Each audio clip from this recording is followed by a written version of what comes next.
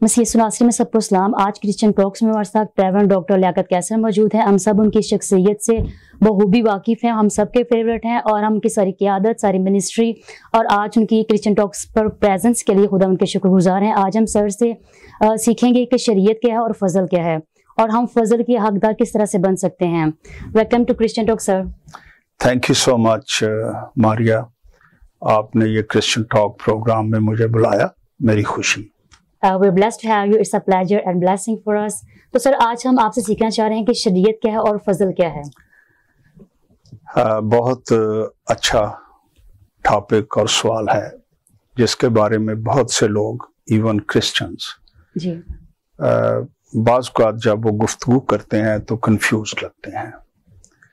شریعت کیا ہے اور فضل کیا ہے؟ شریعت جو ہے وہ کہہ لیجیے کہ خدا کی راہیں۔ خدا کس طرح چاہتا ہے کہ ہم زندگی گزاریں۔ اس کو کلام مقدس میں شریعت کے علاوہ آئین بھی کہا گیا ہے۔ دستور بھی کہا گیا ہے۔ فرمان کہا گیا ہے۔ مختلف لفظوں میں اس کو بیان کیا گیا ہے۔ رومیو ساتویں باب میں شریعت کے بارے لکھا ہے کہ وہ پاک ہے وہ روحانی ہے۔ وہ مسیح تک لانے کے لیے ہمارا استاد بنے۔ یہ غلطیوں کا ختم ہے۔ تو اس کا نچوڑ جو ہے وہ دس احکام میں موجود ہے کہ بھی تیرا خدا ایک ہے اس کو مانے خدا ان کا نام بے فائدہ نہ لیں۔ اپنے ماں باپ کی عزت کریں، چوری نہ کریں سنا نہ کریں، یہ نچوڑ ہے ساری شریعت کا۔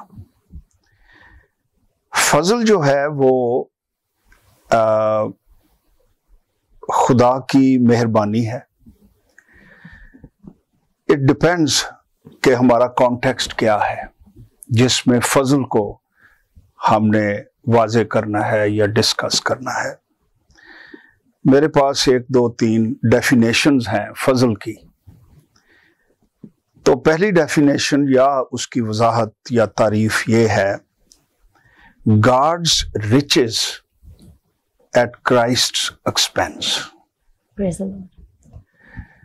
مسیح نے ہماری قیمت ادا کی ہے سلیب پر اور ہم سلیب کی بنیاد پر خدا کی تمام ریچز اس کو انجوائے کرتے ہیں۔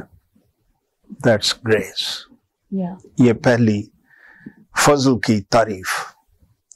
یا اردو میں کہہ لیجیے مسیح کی ادا کی گئی قیمت پر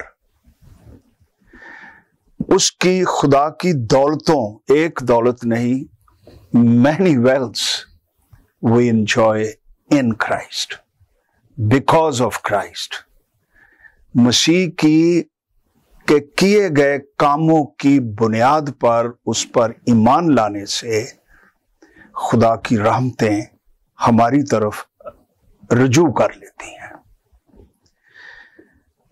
دوسری وضاحت فضل کی، grease is love in action. فضل کیا ہے؟ محبت کا عمل میں آنا۔ خدا کا فضل ہے۔ تیسری اس کی وضاحت میرے پاس لکھی ہوئی ہے کہ فضل خدا کی ایسی فیور ہے یا مہربانی ہے، ہمدردی ہے، جو خدا کی تمام برکات کا منبع یا سورس ہے یا سر چشمہ ہے، جو ہم خدا سے مسیح میں حاصل کرتے ہیں، جس میں ہماری شخصی نجات بھی شامل ہے، روزانہ تقدیس بھی شامل ہے۔ ہمیں مسیح کے آسمان کے لیے تیار کرنے کے لیے فضل میں قوت بھی شامل ہے۔ تو فائنلی میں فضل کے بارے میں یہ کہنا چاہوں گا کہ فضل خدا کی وہ قوت ہے یا طاقت ہے جس پر میرا یا آپ کا کوئی حق نہیں۔ نہ ہی ہم اس کو ارن کر سکتے ہیں کما سکتے ہیں کہ بھی اب میں اتنا اچھا ہو گیا ہوں اب خدا تو مجھ پر مہربانی کر۔ وی ول نیور بی سو لیکن جب ہم مسیح پر ایمان لاتے ہیں کہ وہ میرے لیے مجسم ہوا انسان بنا۔ پاک زندگی گزاری اور ہم سب کے لیے وہ سلیپ پر گناہ بن گیا۔ جو سزا مجھے ملنی چاہیے تھی، چونکہ خدا ہم سے محبت رکھتا ہے، اس نے مسیح کو انسان بنایا، اس کو بدن بخشا، تو اس نے ہمارے سب گناہ اور لانتیں اور بوجھ خود اٹھا لیے۔ ہماری عدالت ہوئی لیکن مسیح پر۔ اس لیے یہ سایہ کی کتاب میں لکھا ہے ہم کو ایک بیٹا بخشا گیا۔